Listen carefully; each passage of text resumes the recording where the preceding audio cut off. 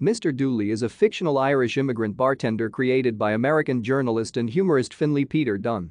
Dooley was the subject of many Dunne columns between 1893 and 1915, and again in 1924 and 1926. Dunne's essays contain the bartender's commentary on various topics.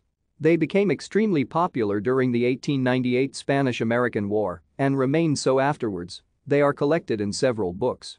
The essays are in the form of conversations in Irish dialect between Mr. Dooley, who in the columns owns a tavern in the Bridgeport area of Chicago, and one of the fictional bar's patrons with most of the column a monologue by Dooley. The pieces are not widely remembered but originated lasting sayings such as the Supreme Court follows the election returns. Mr. Dooley was invented by Dunne to replace a similar character whose real-life analog had objected. By having the garrulous bartender speak in dialect and live in an unfashionable area of Chicago, Dunne gained a freedom of expression he often did not have in standard English. Thank you for watching. Like and subscribe if you would like to view more of our videos. Have a nice day.